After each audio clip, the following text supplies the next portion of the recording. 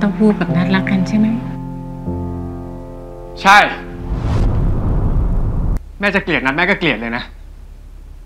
แต่นัดไม่มีวันเปลี่ยนตัวเองที่แม่อยากให้เป็นหรอก ลุงฝังใจกับแฟนเก่า เลยไม่ชอบเด็กไปเลยเหรอ เด็กก็ไม่ได้เหมือนกันทุกคนนะลุง ลุงอย่าเหมารวมดิ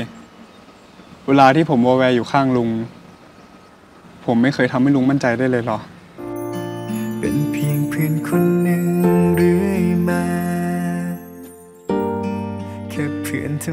คุณหมีปาฏิหาริย์คืนนี้ 20 นาฬิกา 20 นาที ดูทีวีกด